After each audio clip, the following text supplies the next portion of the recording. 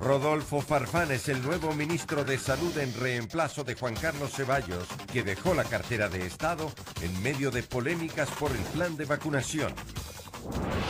Por segunda vez, el Consejo Administrativo de la Legislatura devolvió al Ejecutivo el proyecto para la defensa de la dolarización por considerarlo inconstitucional. Pachacutic presentó impugnaciones en el Tribunal Contencioso Electoral por la revisión de actas con presuntas inconsistencias. Simpatizantes bloquearon vías en Azuay en señal de protesta.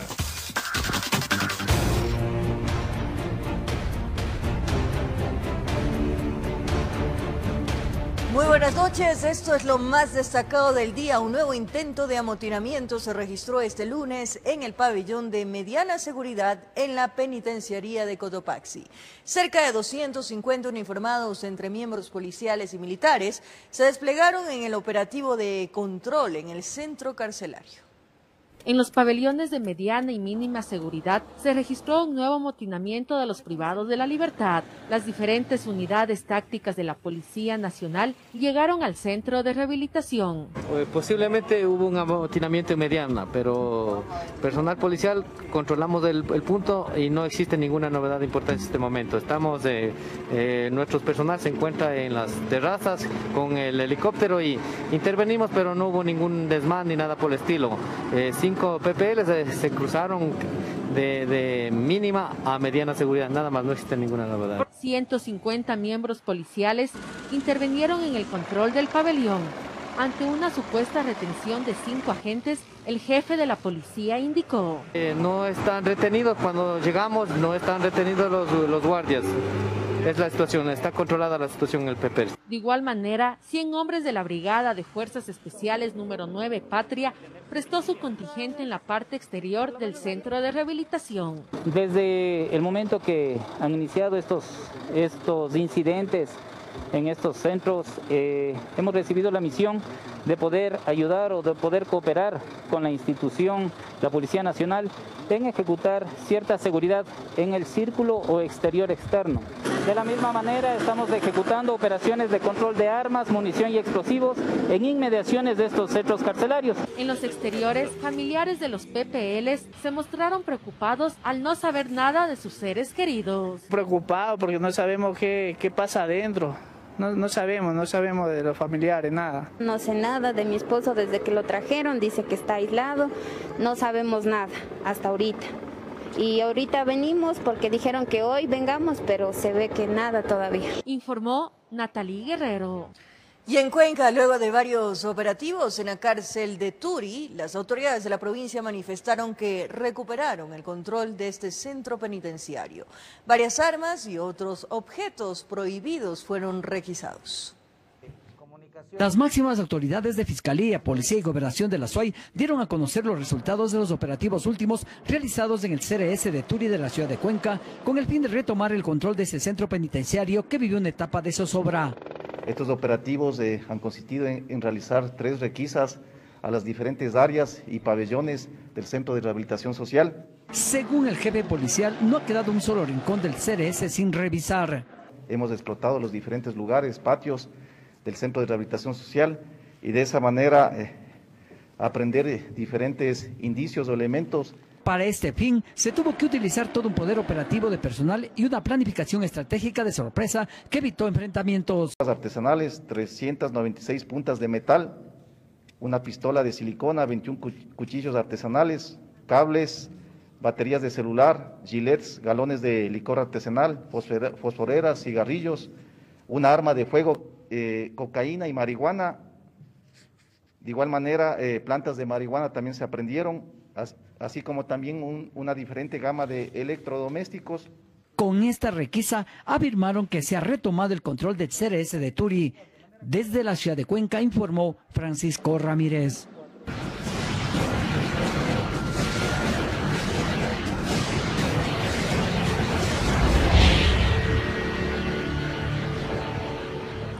Así es, redes de internet, televisores, electrodomésticos, celulares y más objetos han sido hallados en la cárcel de Cotopaxi y la del Turi. Analistas hablan sobre los privilegios de los privados de libertad al interior de los centros penitenciarios. Hay en las cárceles que tienen privilegios es un hecho. En la cárcel de Cotopaxi en los últimos días, en uno de los operativos hallaron esto, gran cantidad de armas artesanales, licor, un computador e incluso un plasma. Pero no fue lo único que hallaron. También había una red de Internet con la que los reos usaban para comunicarse. En la parte de las terrazas de cada uno de los pabellones encontramos dos routers de los cuales teníamos que sacar en virtud de que es por ahí donde se, por eso es el motivo de tanta información que ellos tienen y pueden comunicarse con otros eh, centros de rehabilitación eh, social. Natalia Cárdenas, ex viceministra de Seguridad y experta en seguridad ciudadana, explica que quizá el Internet fue uno de los puntos claves para el amotinamiento del martes. Fue, eh, digamos, el factor primordial para el éxito, le voy a decir en esas palabras, el éxito de, de esta masacre. Pero si de privilegios hablamos, en la cárcel de Turi ocurre prácticamente lo mismo parlantes de todo tipo, 21 para ser exactos, televisores, una licuadora, una tostadora, una cocineta y hasta seis congeladores. Artefactos de línea blanca que estaban dentro del centro de rehabilitación social. La pregunta es, ¿cómo ingresaron esos artículos prohibidos al centro de rehabilitación social? Ricardo Camacho, ex subsecretario de rehabilitación, cree saberlo. Tuvieron que haber entrado por, la, por, los filtros originales o tuvieron que haber entrado por... Eh, por otro camino que puede ser vehículos de, que, que ingresan extrañamente a los centros carcelarios y no son revisados, pueden haber entrado por, por, los camiones de la comida. Camacho sostiene que existe una responsabilidad compartida, pues si los objetos logran ingresar, es porque alguien se los permitió. Y claro, aquellas personas que dejan ingresar las cosas tienen un, una, una, muy buena cooperación económicamente pues es muy rentable este servicio. Y es que existe la necesidad inmediata de la toma de decisiones urgentes en un sistema de rehabilitación que desnuda falencias. Informó Marilyn Jaramillo. El ministro de Gobierno, el comandante de la policía y el director de Servicio de Rehabilitación Social comparecieron ante el Pleno de la Asamblea Nacional por la crisis carcelaria que vive el país. La crisis carcelaria en el país ha llevado a las máximas autoridades a la Asamblea Nacional para que den respuesta de lo que ocurre. El ministro de Gobierno, Patricio Pazmiño, considera que lo que se está viviendo es solo un síntoma del crimen organizado que se disputa por el control del narcotráfico. Enfatizó que la policía no está encargada del sistema penitenciario y que solo brinda un respaldo. La única responsabilidad que tiene el Ministerio de Gobierno en ley es la seguridad perimetral. Y aclaro, seguridad perimetral que nosotros no la estamos haciendo porque estamos subsidiando un sistema y nos hemos tenido que abocar a hacer la seguridad física en el primer anillo de seguridad de los centros penitenciarios. Es decir, haciendo más allá de lo que implica la ley, con la única respaldo que termina siendo un acuerdo ministerial. El comandante general de la policía reiteró que uno de los mayores problemas que existen es la impunidad. En más de 75 amotinamientos que los hemos vivido en los últimos, eh, desde el año 2014, eh, no hay sanciones para ninguno de los PPLs que han actuado a pesar de haber identificado. Además, indicó que el nivel de alcance que tienen estas organizaciones delictivas es alto. Solamente para citar las dos últimas alertas. El 26 de enero del 2021 nosotros detectamos el ingreso de una bazuca. ¿Qué intentaban hacer con esa bazuca? Edmundo Moncayo, director del Servicio de Rehabilitación Social, denunció la falta de presupuesto para dicha institución. Enfatizó que esto, entre otras cosas, hace que exista poco personal para el control de las cárceles. La situación en la penitenciaría del litoral es aún más grave. Existen 40 agentes de seguridad penitenciaria por turno. Es decir, cada agente de seguridad penitenciaria debe custodiar a 240 privados de la libertad. Varios asambleístas cuestionaron el trabajo que realizan las autoridades y señalaron que existieron varias alertas. Fueron 41 alertas que se dieron. No, las autoridades políticas de este país no las tomaron en cuenta y no hicieron absolutamente nada no solo para las masacres de las cárceles. Ante esta situación que vive el país, el presidente de la Asamblea Nacional, César Litardo, ha hecho el siguiente pedido. Declarar en emergencia de manera inmediata o emitir los recursos necesarios para que el sistema penitenciario y de seguridad nacional cumplan con el rol para los cuales fueron creados. Informó Valeria Navarro. Cambiamos de tema. Una jueza dio un plazo de 15 días para que el Ministerio de Salud entregue la lista de vacunados, los procesos de compra alcanzados con las farmacéuticas y el plan de vacunación. La información fue solicitada por la organización Acción Jurídica Popular. El Ministerio de Salud deberá en un plazo de 15 días transparentar el proceso de vacunación luego de que la jueza Selma Espinosa concediera la acción constitucional que permite el acceso a la información solicitada por la organización Acción Jurídica Popular. En 15 días el Ministerio de Salud Pública debe entregar la información respecto a el contrato o los convenios que se tengan para la adquisición de las múltiples vacunas. Aquí salió que no hay contratos, sino hay convenios que se han firmado para adquisición de vacunas. De igual manera, el plan de vacunación y de igual manera también la lista de los vacunados, es decir, de las personas que han sido vacunadas hasta este momento. En este caso, obviamente, el Ministerio de Salud Pública ha manifestado la apelación y ha mostrado también su preocupación, señalando que entregar las vacunas, entregar el listado de vacunas será poner en conmoción, eh, será generar conmoción social. La información que constará en la lista de vacunados es la siguiente. La lista tiene que decir los nombres y apellidos de las personas que han sido vacunadas, porque nosotros nos tememos que ahí estén varias personas que no están en la primera línea, que son personas muy importantes, pero que no por eso deben ser vacunadas porque hay una priorización muy bien establecida por los organismos internacionales para procurar la vacuna. Los representantes de Acción Jurídica Popular negaron la posibilidad de que con esto pueda existir una vulneración sobre la reserva de información personal. En este caso consideramos que no, porque nosotros no estamos accediendo a datos específicos de ningún paciente. Es decir, por ponerles un ejemplo, si una persona se ha vacunado, nosotros no queremos saber número de cédula, no queremos saber identidad personal como estado civil, qué sé yo, sino simplemente los nombres que hayan accedido a las vacunas, nada más. Sobre la apelación que presentará el Ministerio de Salud, se señaló lo siguiente. El Ministerio de eh, Salud tiene que entregar las listas, al margen de que se lleve adelante la apelación, porque en materia constitucional eh, se, entiende que esa sentencia debe ser cumplida aunque se haya presentado la apelación. Los 15 días empezarán a correr cuando se presente la notificación por escrito, debido a que en la audiencia la disposición se dictó de forma oral, informó Valeria Navarro. Mediante decreto ejecutivo, el presidente Lenín Moreno designó a Rodolfo Farfán como el nuevo ministro de Salud tras la renuncia de Juan Carlos Ceballos. Farfán, de 63 años de edad, fue viceministro de Atención Integral del Ministerio de Salud desde noviembre del año pasado y ahora asume el principal cargo de esta cartera de Estado, a dos meses en el que el presidente Lenín Moreno finalice su mandato. Farfán es el cuarto ministro de Salud del gobierno de Moreno. La firma de acta de compromiso interinstitucional para la adquisición de la vacuna contra el COVID-19 se llevó adelante en la ciudad de Quito. El acuerdo fue suscrito por siete municipios de la provincia de Pichincha.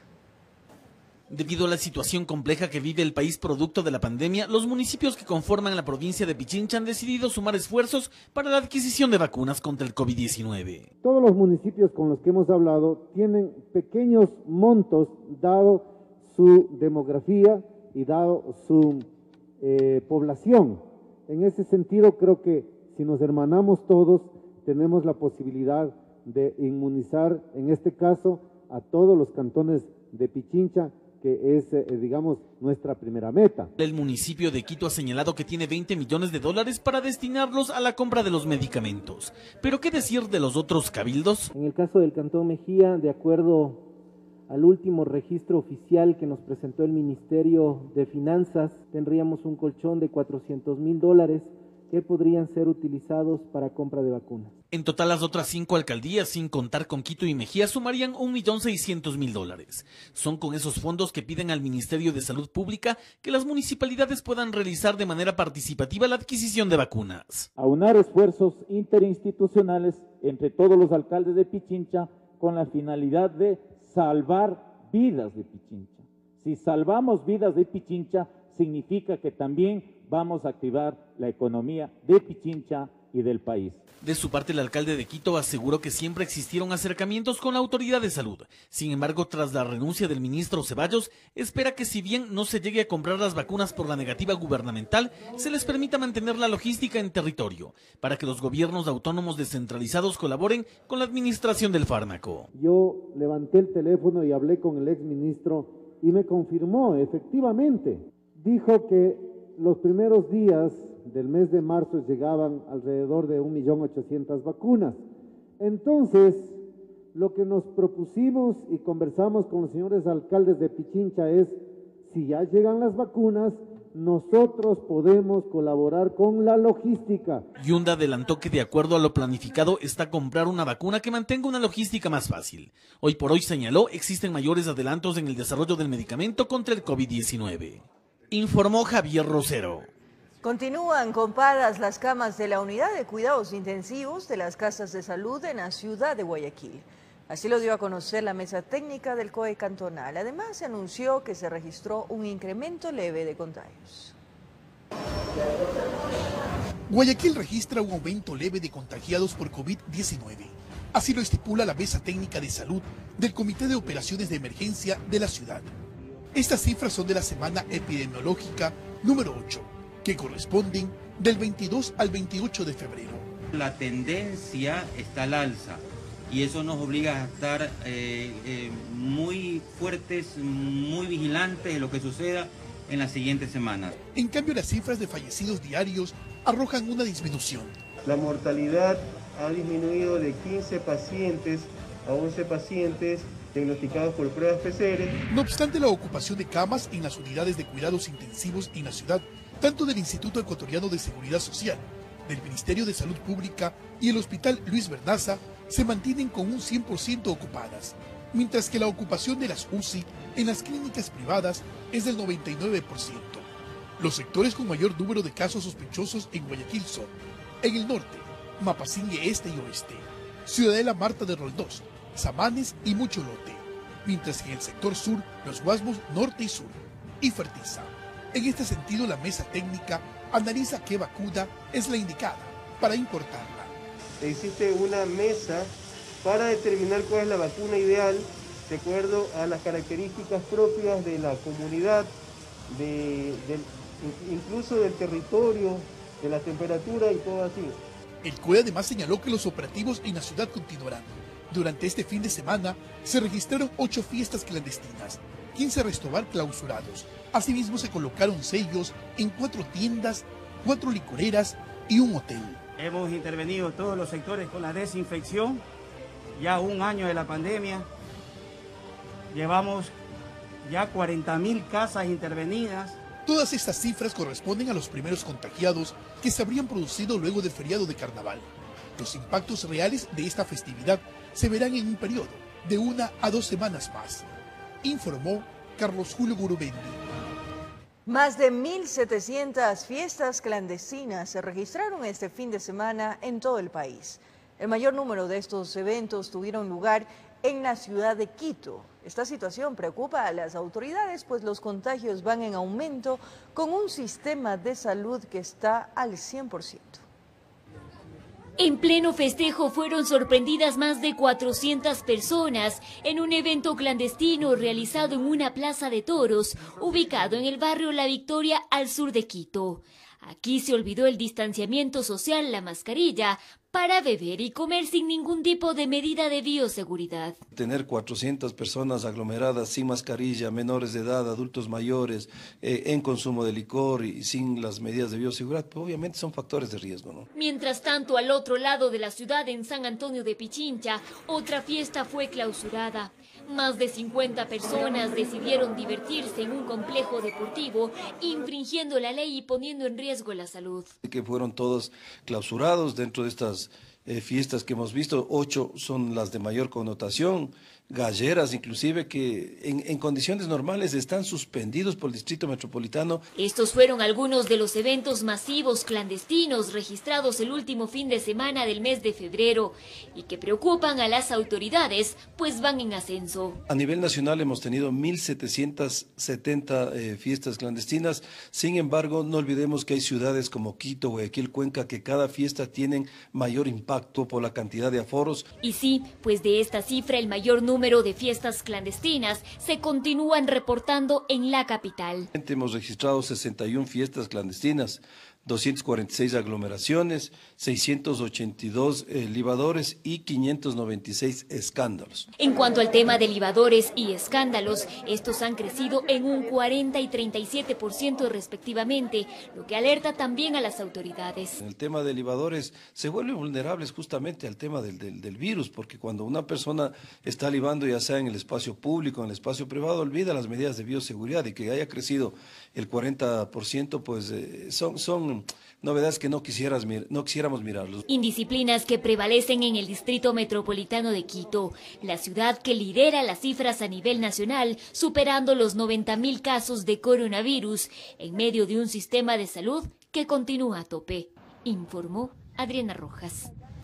Y en el mundo, en Rusia, se probará una vacuna contra el COVID-19 cuya inmunidad podría durar más de 10 años. Por otra parte, en los Estados Unidos, una niña falleció mientras dormía tras dar positivo contra el COVID-19. Hasta hace poco, no se podía hablar de una vacuna que pueda lograr una inmunidad de hasta más de 10 años contra el COVID-19. Pero hoy es posible. Esto luego de que expertos de la Agencia Federal Médico-Biológica de Rusia aseguraron que desde julio de este año se probará una nueva vacuna contra el COVID-19 que sería capaz de generar inmunidad a nivel celular con una protección de más de 13 años. Y es que se trataría de un fármaco de nueva generación que se desarrolla sobre una plataforma tecnológica. Actualmente Rusia cuenta con tres vacunas registradas, Epiva Corona, Covivac y la Sputnik V. Mientras tanto, en Estados Unidos se aprobó la tercera vacuna contra la pandemia para las personas mayores de 18 años. Se trata de la Johnson Johnson, que requiere únicamente la aplicación de una sola dosis y que ya se empezó a aplicar en el país. Esta vacuna es la primera autorizada en Estados Unidos que no necesita mantenerse congelada.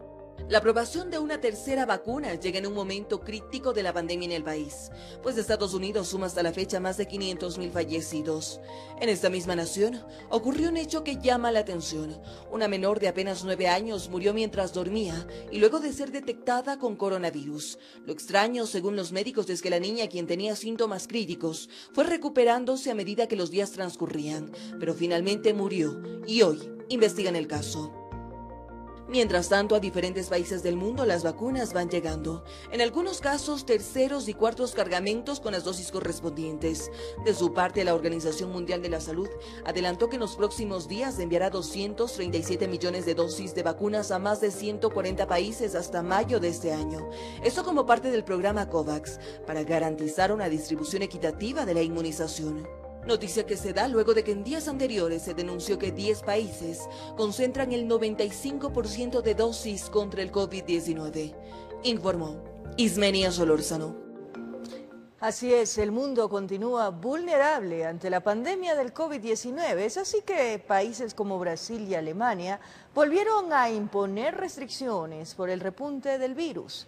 Mientras tanto, en Chile, Uruguay y Argentina regresaron a clases presenciales en medio de temores por rebrotes. En Brasil, Varias autoridades anunciaron nuevas medidas para evitar el colapso sanitario ante el repunte de casos de COVID-19. Solo en la ciudad de Sao Paulo se decidió dar marcha atrás en su plan de flexibilización y se redujo el horario de bares y restaurantes, mientras que los estados de Paraná y Río Grande decidieron que solo estarán habilitados los servicios esenciales, es decir, farmacias, hospitales y supermercados. La preocupación en este país surge porque por quinto día consecutivo registra más de 1.300 fallecidos. El gobierno francés, de su parte, activó el pasado fin de semana medidas concentradas en varios departamentos y bajo vigilancia. Esto debido a su alto número de contagios. Solo la ciudad de Niza y su famoso paseo de los ingleses en la Costa Azul hoy sufren las secuelas de este estancamiento, pues se quedó totalmente paralizada. Asimismo, Alemania anunció nuevas restricciones, pero esta vez para los viajeros provenientes de Francia, como la suspensión de los viajes en transporte público desde el departamento francés de Moselle, debido al alto porcentaje de la nueva variante de coronavirus que allí existe.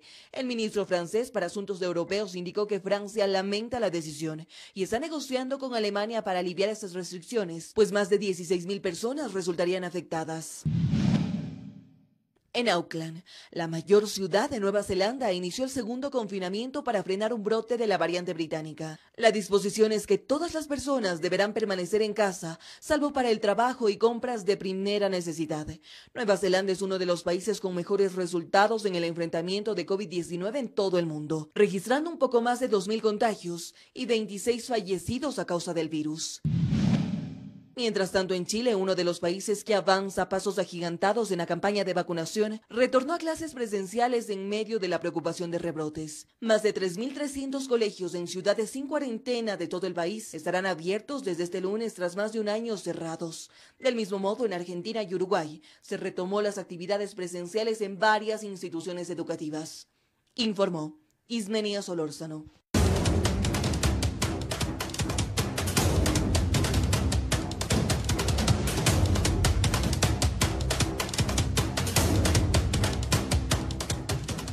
Así es, les tenemos una información de última hora desde la Asamblea Nacional. Con 84 votos a favor, el Pleno Virtual aprueba el proyecto de resolución con cinco artículos, entre los que consta el pedido al Ejecutivo para la destitución de los titulares del Ministerio de Gobierno, es decir, el ministro, Policía Ecuador, su director, del SNAI por la crisis carcelaria en el Ecuador, Recordemos que hoy se realizaron varias comparecencias de los involucrados sobre este tema. Y ahora es momento de una pausa, amigos televidentes, y al volver más adelante, conmoción en la capital por el asesinato de una mujer presuntamente a manos de su conviviente.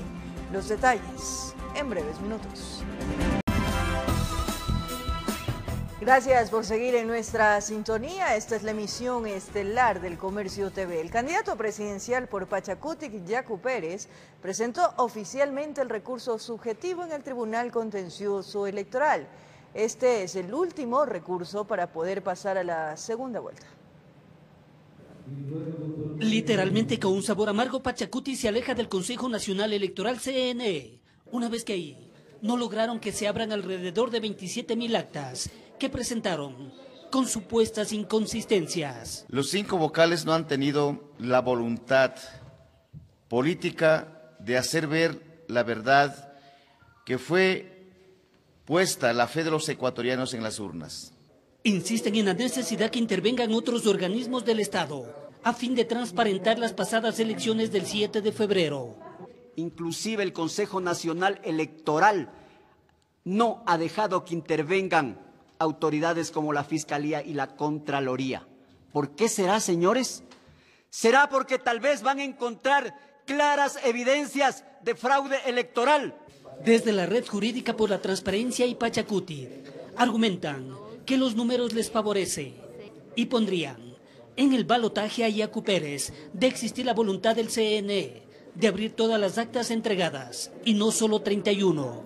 Han salido 600 votos que recupera Yacu Pérez. Si nosotros solamente se revisaran mil actas, mil actas, se recuperarían como 60 mil y pico de votos.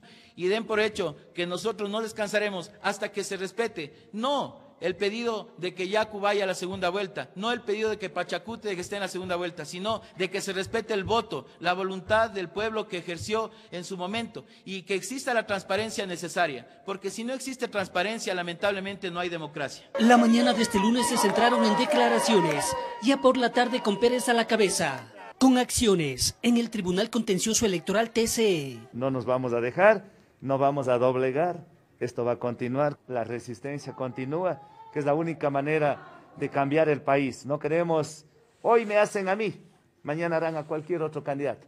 Último recurso en el ámbito electoral, con el que pretenden no se les dé la espalda, informó Héctor Romero.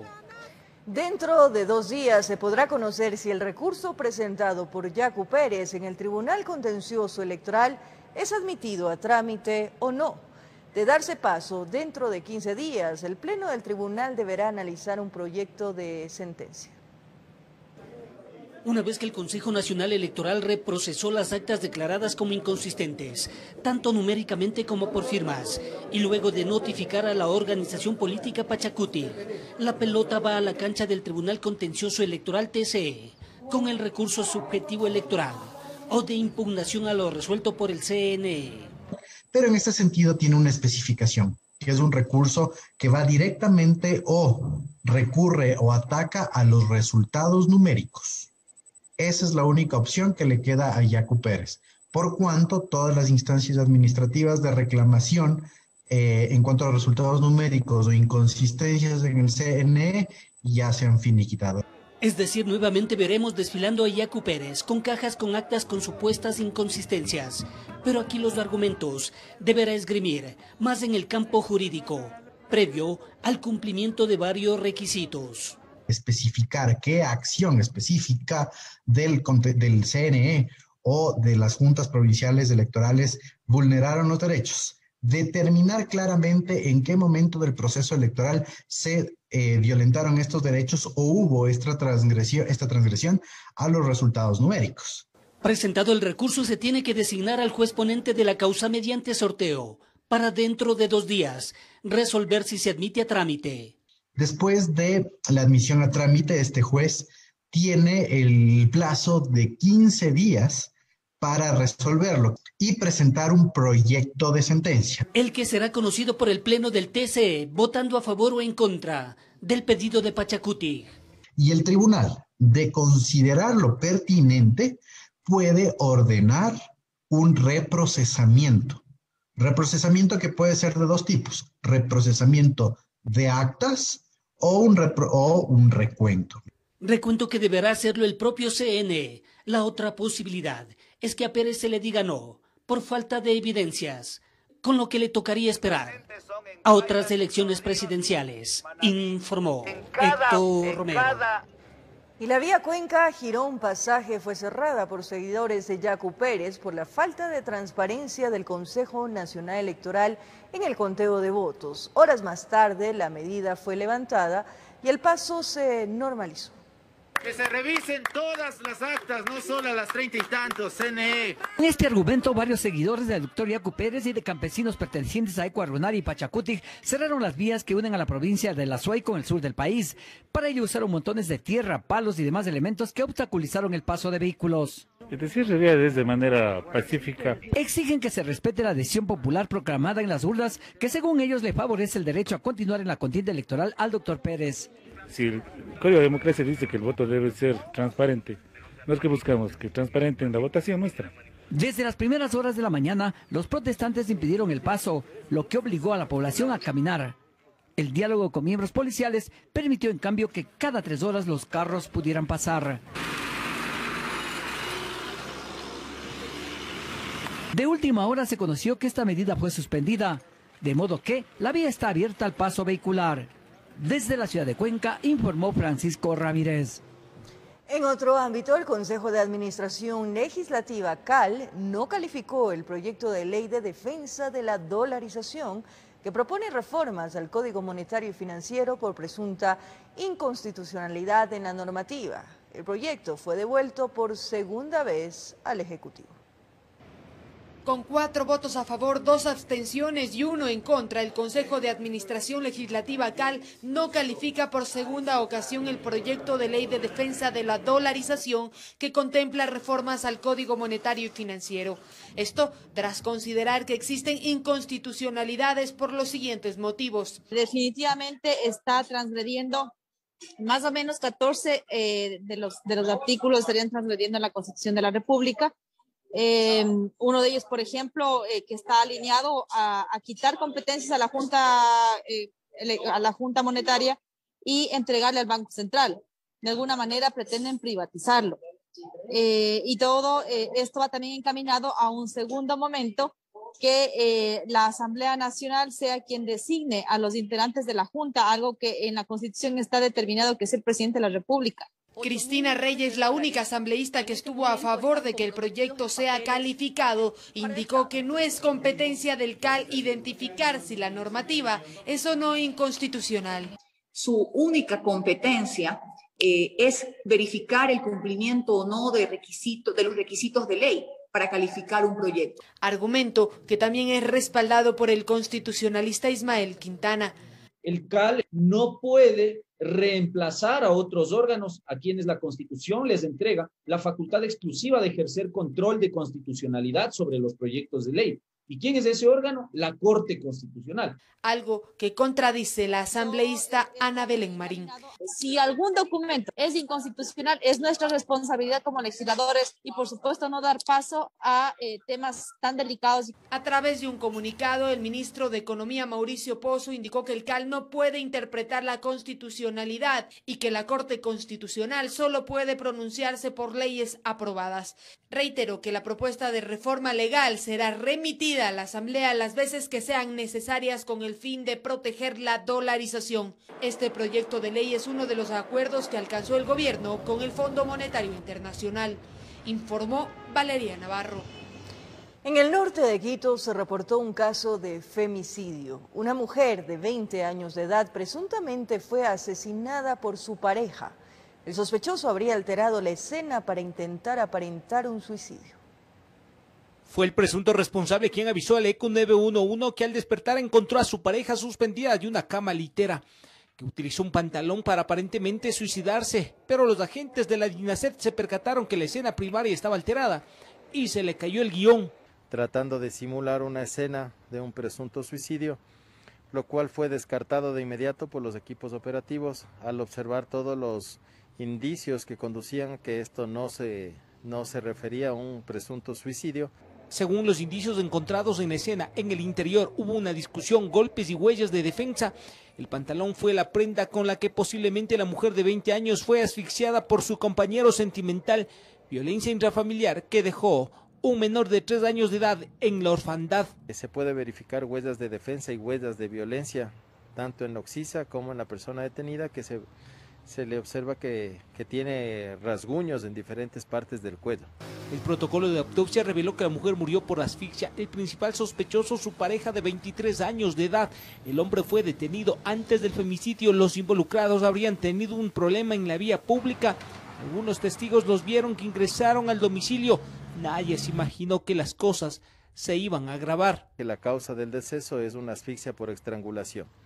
En la escena se encontró un pantalón que es el elemento constrictor con el que se presume eh, se victimó. El juez penal en la audiencia de flagrancia al presunto femicida le dictó prisión preventiva. De ser encontrado responsable, podría pasar largos años en la cárcel.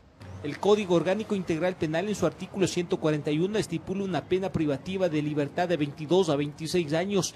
En el Distrito Metropolitano de Quito es el primer caso registrado de femicidio en los dos primeros meses del 2021 informó Iván Castillo.